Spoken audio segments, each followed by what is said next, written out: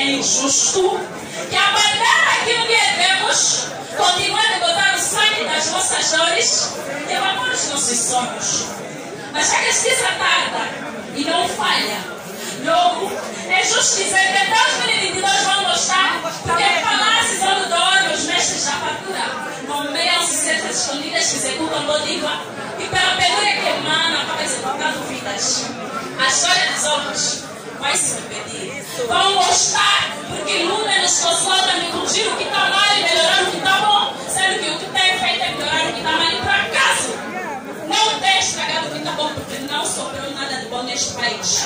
Passaram do vendedor de sonhos a vendedor de pesadelos. E sim, vão gostar porque quem tivesse agora a ligeira sistemática, as outras não passam de falas e outras não estão lá, a caravana passa e nada se faz, vão gostar porque transformar isso numa experiência falhada do país numa utopia, grandes se diferem, mas o modo operante é o mesmo.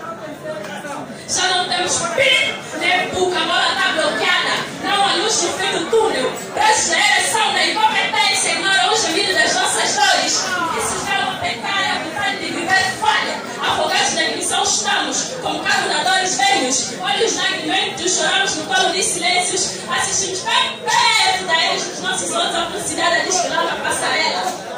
No entanto, nesse